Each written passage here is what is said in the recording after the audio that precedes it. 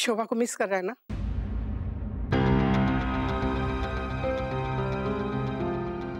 आपका दिमाग खराब हो गया।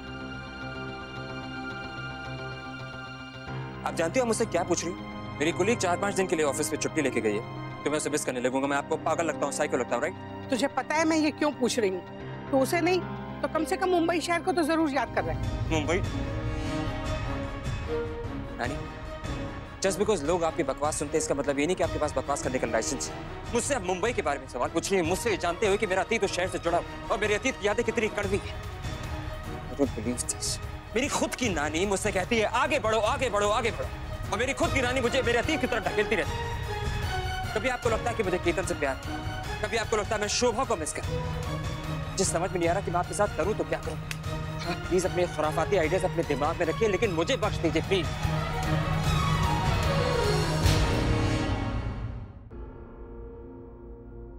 कितना गहरा जख्म लगा मेरे बच्चे को। उसका जहर आज भी उसके अंदर है। जिस लड़की ने मेरे बच्चे का ये हाल किया ना, हाय लगेगी उसको, हाय लगेगी।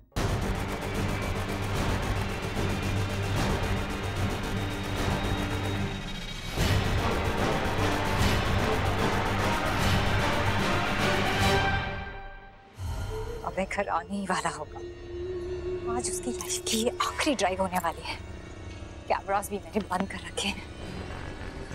उसके खिलाफ मैंने काफ़ी सारे एविडेंस इकट्ठे कर लिए हैं। इस पूरे ड्रामा की विक्टिम मैं होने वाली हूँ। माय गॉड और सारे लोग मुझे अपने कंधे देने वाले हैं रोने के लिए और हैंकी देने वाले हैं आँसू पोषने के लिए।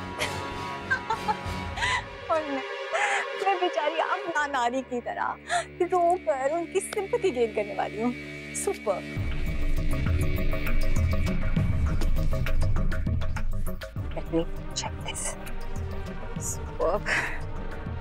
Dear husband, तैयार हो जाओ चेकआउट करने के लिए अपनी लाइफ से। शादी की थी ना मुझसे तो खुश रखना चाहिए था मुझे। नहीं रखा ना खुश। तो कैमरा ऑन कर दे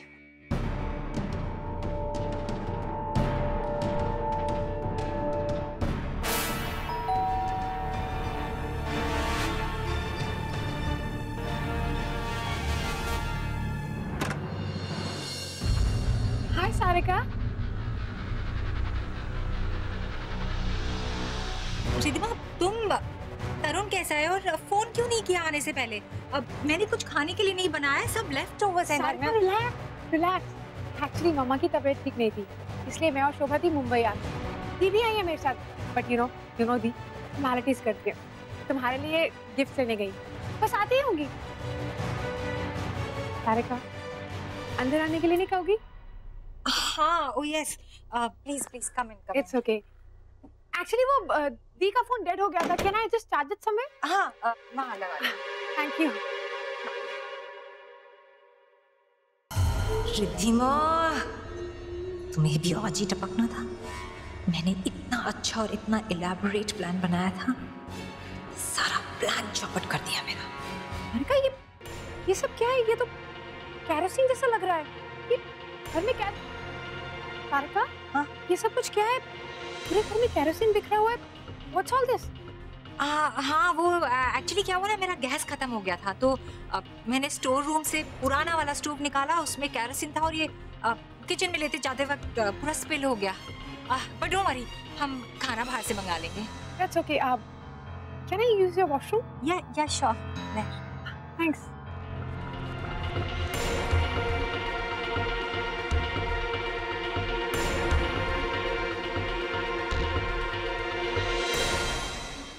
या मेरा मूड बहुत ऑफ़ है मैं तुमसे शाम को घर पे मिलता हूँ ठीक है विक्रम सॉरी तुमसे कुछ कहना था। जी कहिए मिसेस अजमेर सब कुछ ठीक है? हाँ वो एक्चुअली सॉरी बोलना था। कल शोभा ने कुछ ज़्यादा ही बोल दिया तुम्हें। एक्चुअली उसकी ज़िंदगी में इतना कुछ हो रहा है तो स्ट्रेस रहती है और यू नो इस वजह से इट्स ऑलराइट इट्स ऑलराइट मुझे शायद इंटरफेयर नहीं करना चाहिए था। देखो ना एक मुसीबत टली नहीं तो दूसरी आ गई। अचानक से फ़ोन आया मुंबई से कि उसकी मम्मी की तबीयत बहुत खराब है जाना पड़ा उसे। इनफैक्ट रिदिमा भी गई है साथ में। जी पता है मुझे पता है उसे। विक्रम अब करू की शादी हो गई है तो शुभा बहुत अकेली पड़ गई है। तुम्हारे अलावा उसका कोई दोस्त नहीं है। प्लीज़ इस फेस से निकलने में उसकी हेल्प करो। तुम चुप क्यों हो गए? तो खुद कह रहे थे उससे कि उसे सबसे बाहर निकलना चाहिए आगे बढ़ना चाहिए मूव ऑन करना चाहिए। प्लीज़ हेल्प हर मैं सिर्फ़ कोशिश कर सकता हूँ Mrs Dev thank you so much आप अपना ख्याल रखिएगा लेकिन okay thank you so much शायद मैंने नानी से कुछ ज़्यादा बदतमीजी से बात कर दी। मुझे उनसे माफ़ी मांग लेनी चाहिए। विक्रम कैसे बोला मेरे साथ? इस तरह कैसे बोल सकता है? अरे नानी उसकी उस पर मेरा हक बनता है। इतनी गंदी तरह बोला।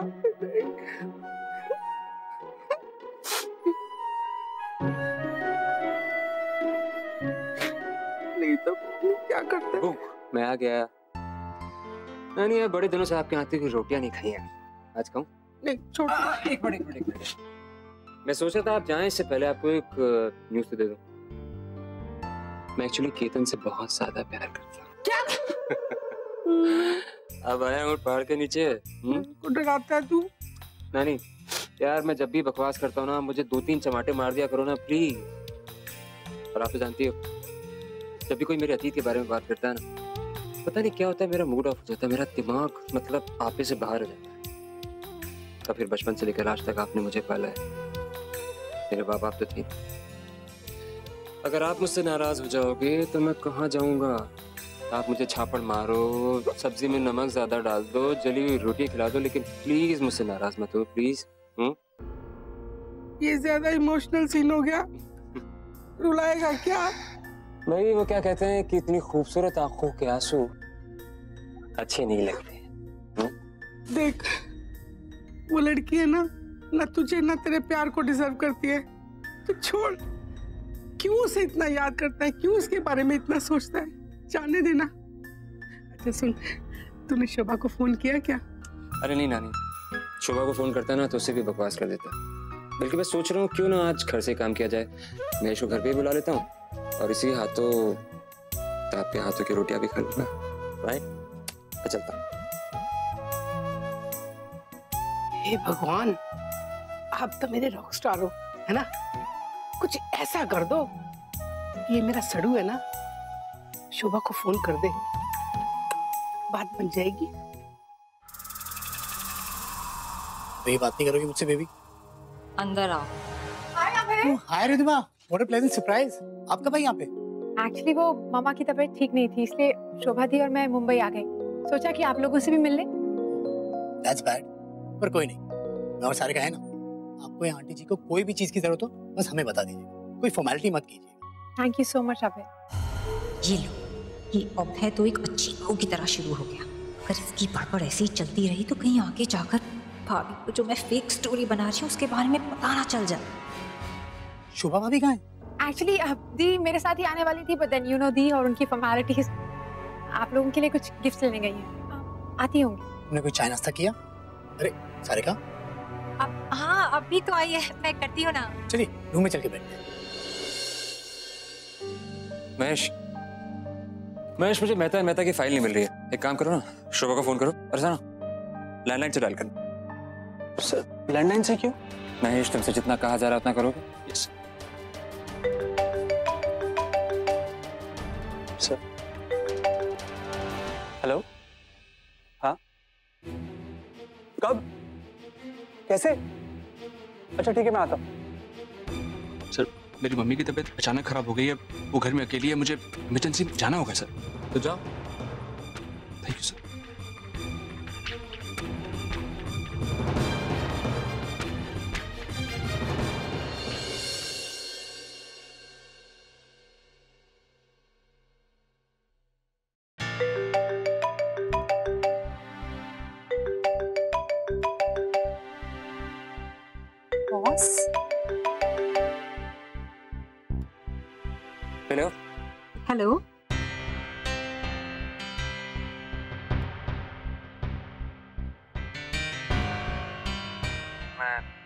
शोभा का बॉस बोल रहा हूँ मैं। शोभा से बात कर सकता हूँ? वो तो नहीं है यहाँ पर। कोई मैसेज है तो दे दीजिए।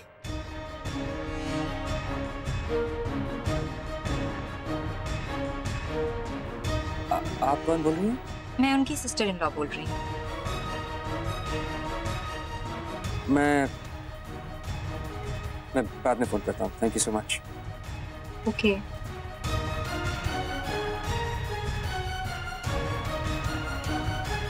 जाने क्यों ये आवाज़ बिल्कुल उसकी आवाज़ जैसी लग रही थी। बिल्कुल वही आवाज़। ये आवाज़ इतनी फेमिलियर क्यों लग रही है? जैसे उसकी हो। एनीवे कोइंसिडेंस होगा।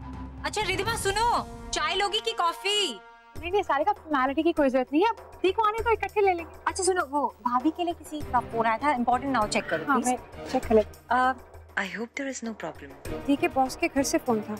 कुछ काम होगा शायद। अब सारे का? हाँ? अगर तुम बुरा ना मानो तो क्या मैं तुमसे एक बात पूछूँ? एक्चुअली दीदी तुम्हें और अभी को लेकर काफ़ी परेशान थी। पर आज जब मैं अभी से मिली तो मुझे तो अभी एकदम नॉर्मल लगा। बहुत स्वीट लगा। Was like nice to me Ridhima अब है सबके साथ नॉर्मल और चाँद लेकिन एक बार जब उसकी दारू की बोतल खुल जाती है ना तो सिर्फ़ मैं जानती हूँ कि वो कैसे बिहेव करता है। एनीवे मैं तुम्हारे थोड़ी सी चाय बना कर लाती हूँ ओके ठीक है।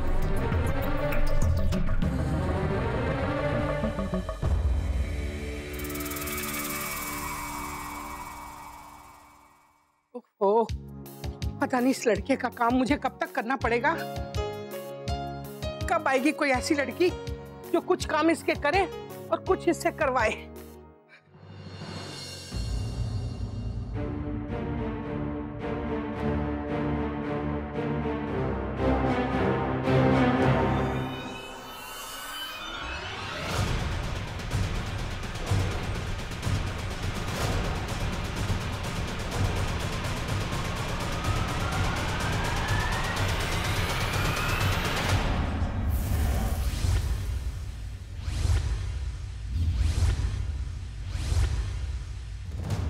इस कमीनी की फ़ोटो?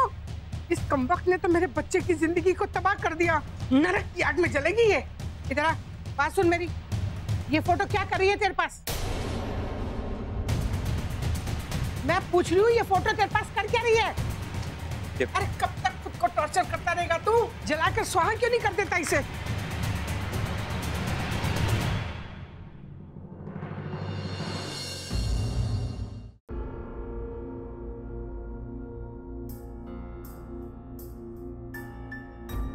इस फोटोग्राफ को तो आपने सुहा कर दिया लेकिन मुझे ये बताइए कि अपनी मेमोरीज अपनी यादों को मैं कैसे सुहा करूँ?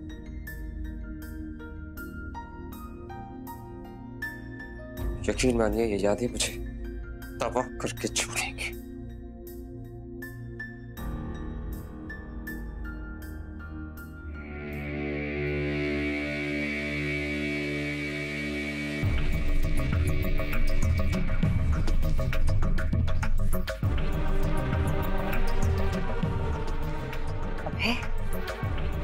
ये स्क्रू ढीला नहीं हो रहा है। तुम्हारी ज़िंदगी के आखिरी कुछ लम्हे तुम्हारे हाथ से छूट रहे हैं। सॉरी मेरे हाथ से छूट रहे हैं।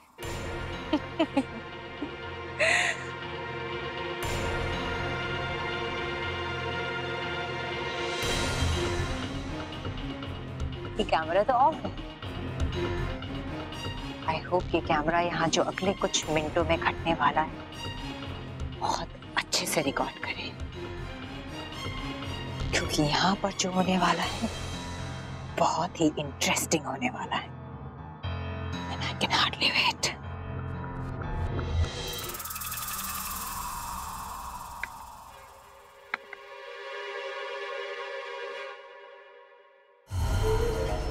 तुमने बहुत ज़िंदगी जी। वैसे भी तुम जैसे लूजर को और ज़िंदगी जीने का कोई हक नहीं है। वेरी गुड चलिए अब आप रेस्ट कर लीजिए और मैं भी सो जाती हूँ ओके गुड नाइट थोड़ी देर और बैठना मेरे पास रहती। हाँ तबीयत ठीक नहीं आपकी यू नीड रेस्ट इतनी चिंता मत कर मेरी तू ठीक हूँ मैं। अच्छा सुन शोभा का है? दी सो गई है शायद क्यों? सारा दरवाज़ा बंद करना। क्या हुआ माम सब ठीक तो है? रिद्धि बेटा मुझे मुझे शुभी की बहुत चिंता हो रही है। ऐसे गुस्से में अहंकार में आके ये सब कह देना एक बात होती है पर असल ज़िंदगी में तो बच्चों के साथ बिना पति के रहना वो दूसरी बात होती है। अभी तो हम हैं उसके साथ। तू है मैं हूँ करीमा भी है लेकिन पर बेटा हम कब तक रहेंगे? थोड़ा प्रैक्टिकल सोचो ना। तुम अपने परिवार में बिज़ी हो जाओगी। अब गरिमा भी अपने परिवार में बिज़ी हो जाएगी। मैं यहाँ मुंबई में रहती हूँ। मेरी तबीयत भी ठीक नहीं रहती। कल को मुझे कुछ हो गया तो माँ क्यों ऐसी बातें कर रहे हो? कैसे संभालेगी वो अकेले सब कुछ बेटा? देख मैं तेरी माँ हूँ। मुझे पता है कि तरुण भी बिल्कुल समर्थ की तरह पर फिर भी तो निभा रही है ना अपनी शादी को? माँ प्लीज़ पहली बात तो ये कि समझ जीजू ने दीदी से डिवोर्स मांगा है। दीदी ने नहीं। और दूसरी बात ये कि उन्होंने अपनी शादी को निभाने की पूरी कोशिश की है। शायद उससे भी ज़्यादा। मैंने देखा है माँ। हाँ इस शादी का टूट जाना ही ठीक है। जो हो रहा है वो ठीक हो रहा है। मैंने इस बात को एक्सेप्ट कर लिया है। आप भी कर लीजिए। प्लीज़ तुम दोनों की शादियों में इतनी खटास इतनी कड़वाहट क्यों आ गई रिद्धि? आज तुम्हारे पापा होते ना, सब कुछ संभाल लेते। माँ औरतों को अपनी ज़िंदगी में सिर्फ़ मर्दों के सहारे की ज़रूरत नहीं होती। वो खुद अपने आप में अपने सबसे बड़ा सहारा है।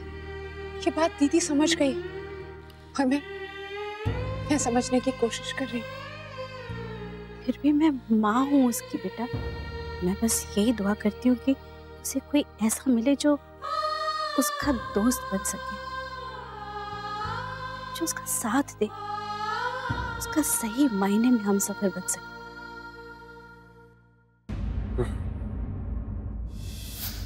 गॉड प्लीज़ यार मेरे बालों के साथ पंगे मत लो।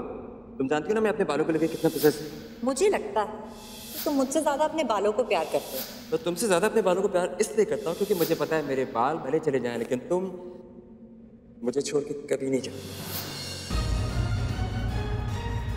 मेरे अच्छे ख्वाबों में तुम थी मेरे बुरे ख्वाबों में तुम हो। मेरा प्यार तुम थी मेरी नफरत तुम समझ में नहीं आ रहा कि अगर आगे बढ़ोगे तो कैसे बढ़ो? कैसे?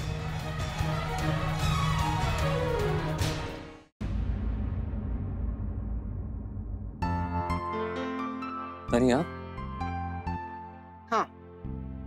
तुझसे ना एक बात करनी थी बेटा। हाँ जी कही बेटा प्यार का अपोजिट नफरत नहीं। प्यार का अपोजिट होता है, लापरवाही। यानी कि आपके आसपास जो कुछ भी हो रहा है ना, उससे आपको कोई फ़र्क नहीं पड़ता। तू तो बस उसी लड़की के बारे में सोचता रहेगा। अरे बेटा देख, तूने जो चीज़ें भी उसके साथ शेयर की थी ना, उसको किसी और के साथ शेयर कर। नए रिश्ते बना, नई सोच बना, तभी आगे बढ़ पाएगा। अब बेटा, दलदल से बाहर निकलने की पहली कोशिश तो तुझी को करनी पड़ेगी। कितना वक्त हो गया अभी तक सोई नहीं वो क्या है ना वो इंग्लिश सीरियल का ना नया एपिसोड आया था। वो देख रही थी मैं लैपटॉप पे। सच्ची मैंने कभी कभी ऐसा लगता है कि सोचता कि काश मैं आपके साथ था। वो क्या है ना मैं ना ज़रूरत से ज़्यादा हॉट हूँ। और मेरी हॉटनेस है ना जो तेरी माँ और तुझ तक पहुँची ही नहीं। हाँ अब छोड़ सड़ू इस बात की इतनी चिंता नहीं करते। क्या है ना कि एक घर में ना एक ही बंदा हॉट होना चाहिए। लड़ाई झगड़े नहीं होते ना। चलिए आप यहाँ पर आई तो मैं सोच रहा हूँ कि आपके अगर लैब पे आ जाया जाए तो अच्छी सी नींद आ जाएगी मुझे। हाँ मेरा बच्चा। नानी बस मैं आप जैसे खुश रहना चाहता हूँ it. खुश रहेगा ना बेटा तू? भगवान सब ठीक करेंगे। तू भी खुश रहेगा। तू भी बहुत सारा सुखी रहेगा। चल सो जा बेटा।